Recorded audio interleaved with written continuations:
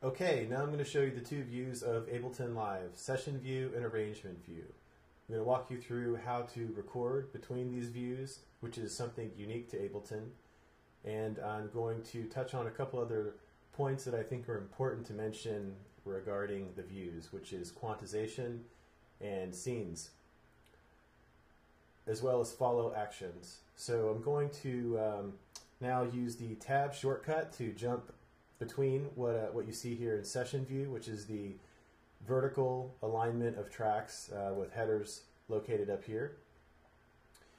And hitting tab, I'm jumping into arrangement now, which is the traditional left to right view of time uh, with our tracks aligned over here to the right with the track headings up here. So right off the bat, you see that these are two views of time itself and working with time in Ableton. Um, the tracks are mirrored between the two views, however, the clips and what can exist within the tracks can be entirely distinct between arrangement view and session view. So you can have what I think of as the background default layer playing in the arrangement view, which can be overlaid and on top of from anything played or triggered from the session view. And I'm going to show you this later, um, uh, but at first I want to walk through some of the basics of arrangement view just so you're aware. The loop brace here is what defines how you're going to loop within arrangement view. And uh, that brace and what's the behavior of the brace is defined up here in this control bar. These loop end set endpoint settings define the loop size, and these buttons define the behavior as the playhead crosses over either the beginning of the loop, which will cause, uh, if this is clicked on, it will turn recording on if the playhead crosses over the beginning of the loop. And if this is enabled, then the loop will in fact loop over itself, and this can cause overdubbing if this is enabled here. Now, if this last punch out button is set, then the behavior is that it will turn off recording as it passes over this endpoint. And I'm going to leave this on so that you see this in effect later. Um, some other cool points that you, uh, features of arrangement view are the ability to set cue points or locators wherever you would like. So in this case, if I am at this point and I want to set a locator, just click the button and it should drop a locator in the spot. I think it's dropping the locator at the beginning of the loop section up there.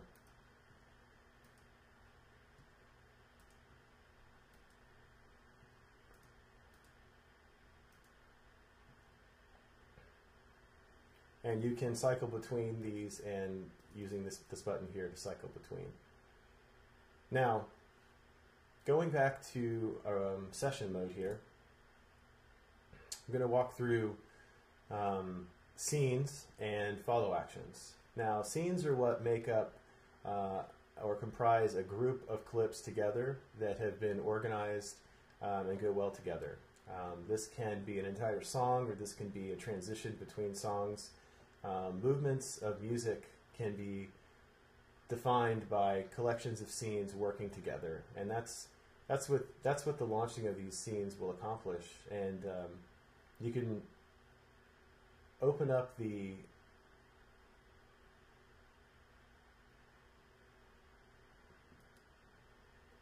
mapping editor. Mapping editor here will show you the uh, hidden ability to jump between these scenes and apply your MIDI controller to these settings to skip between scenes and launch scenes. And you can only see these um, mapping settings by going into MIDI map mode here.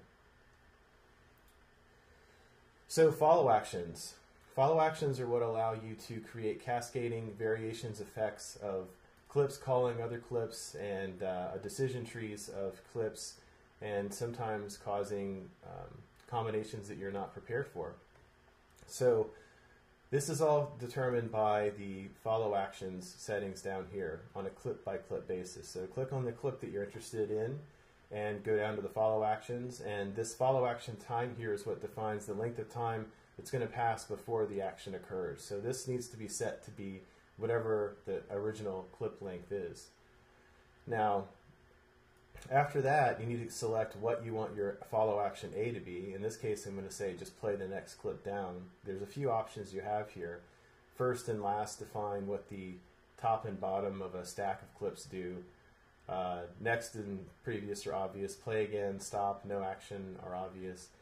Uh, any is to select any uh, any playing clip, and other is to select any clip that's not playing. Now, after you have selected what action you want to occur, then you need to select what the probability of that action is. And um, you don't have to have two actions. You can uh, select this, you know, you can make this no action and make it zero so that you only just have one follow action you're working with. Um, if you set this to one, then you have a 50-50 chance of this other action occurring as well.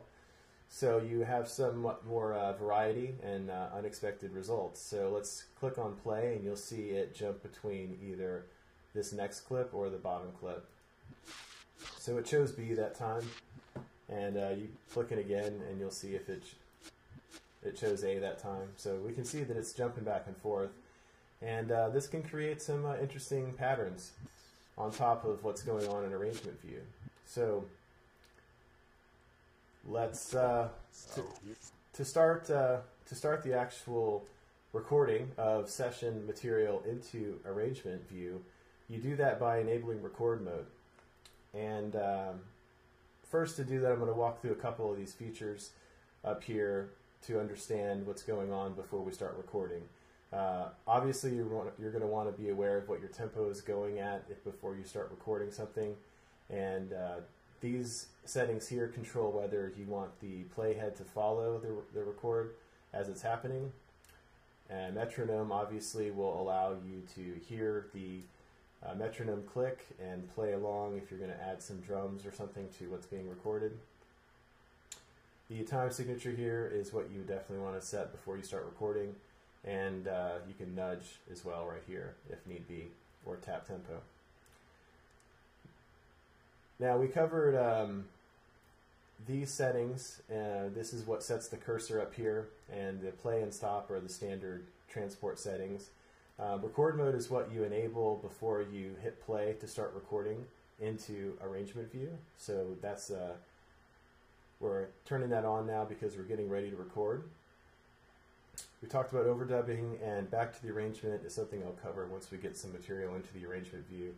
Uh, this button right here is the edit mode, uh, also known as the battle axe for the control B um, shortcut. Um, learned that from a friend in Austin. Now, uh, now that we have covered uh, the basics of the record options up here at the top bar, we're ready to go. Uh, we have enabled our tracks for record, which is done by arming them uh, you can click down here to arm and be mindful of as you arm them, you might be disarming other tracks. So go back over here and rearm the ones that you want armed by holding down command and clicking on arm. So now we're fully armed and ready to record. We are ready to go. We can uh, make sure record is clicked, jump over to session, or sorry, arrange view now, and uh, select the loop and click play.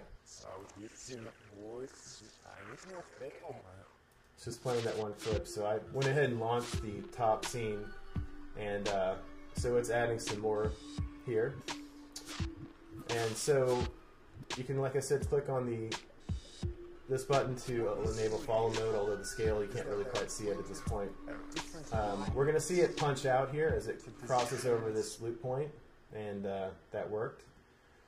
Um, so once we're in arrangement, we can, I'll go ahead and point out the overview window up here, which allows you to really quickly scale and manipulate what you're looking at. You can scroll up or down while you're moving around or left and right within it. So you can really hone in on what you want to see really quickly and make sure it all fits in one window. I did that with um, Command Option L to disable the uh, uh, clip view down there to give us more real estate. Now, since we had sort of a partial take with that, uh, I can go ahead and select this main piece and just hit Command L to bring the loop brace onto just this block of music. So now I'm only working on this block and um, I can loop it and uh, start experimenting.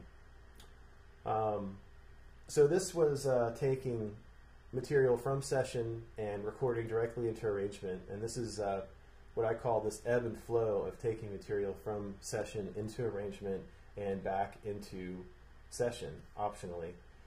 Now, to get material back into session mode, um, you have to have something playing in arrangement. So let's get this going.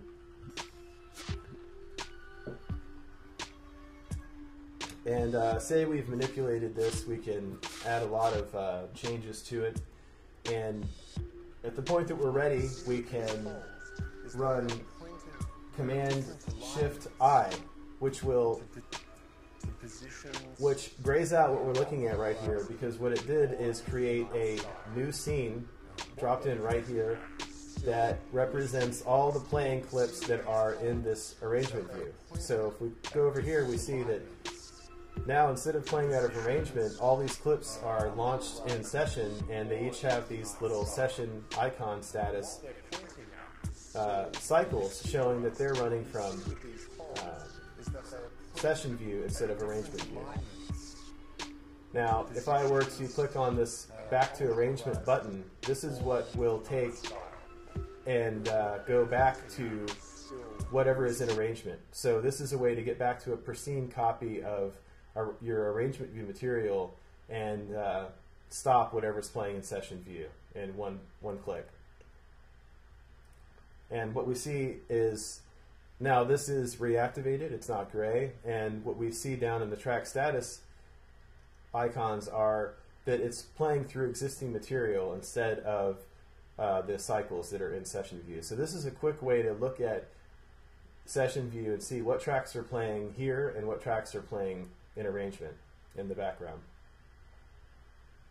Okay, so uh, in summary, I've shown you how to work between session and arrange view to record and capture scenes back and forth between the two views. I've shown you quantization and touched on how to use that to quantize your clips as desired. I've shown you scenes and follow actions as well to create some interesting combinations and variations in session view. And I have walked you through how to uh, navigate arrangement view and um, how to work with your music directly in it and uh, get to a point of uh, hopefully finalizing and exporting your audio. So thank you for watching.